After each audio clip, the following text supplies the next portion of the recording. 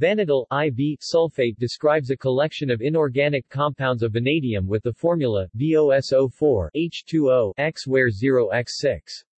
The pentahydrate is common. This hygroscopic blue solid is one of the most common sources of vanadium in the laboratory, reflecting its high stability. It features the vanadyl ion, VO2+, which has been called the most stable diatomic ion. Vanadyl sulfate is an intermediate in the extraction of vanadium from petroleum residues, one commercial source of vanadium. Synthesis, structure, and reactions Vanadyl sulfate is most commonly obtained by reduction of vanadium pentoxide with sulfur dioxide, V2O5 plus 7H2O plus SO2 plus H2SO42 V O H2O 4 SO4 from aqueous solution. The salt crystallizes as the pentahydrate. The fifth water is not bound to the metal in the solid. Viewed as a coordination complex, the ion is octahedral, with oxo, four equatorial water ligands, and a monodentate sulfate. The trihydrate has also been examined by crystallography. A hexahydrate exists below 13.6 degrees Celsius 286.8 K. Two polymorphs of anhydrous VOSO4 are known, the V equals O bond distance is 160 pm, about 50 pm shorter than the VOH2 bonds. In solution, the sulfate ion dissociates rapidly.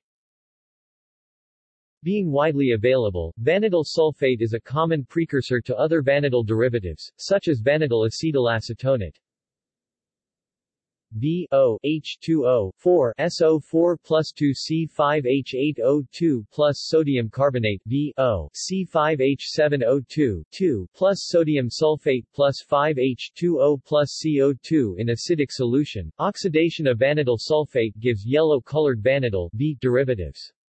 Reduction, e.g. by zinc, gives vanadium 3 and vanadium 2 derivatives, which are characteristically green and violet, respectively. Occurrence in nature Like most water-soluble sulfates, vanadyl sulfate is only rarely found in nature. Anhydrous form is pauflerite, a mineral of fumarolic origin. Hydrated forms, also rare, include hexahydrate, stanleyite, pentahydrates, minasragrite, orthominasragrite, and anorthominasragrite, and trihydrate. Medical research Vanadyl sulfate is a component of food supplements and experimental drugs. Vanadyl sulfate exhibits insulin-like effects. Vanadyl sulfate has been extensively studied in the field of diabetes research as a potential means of increasing insulin sensitivity.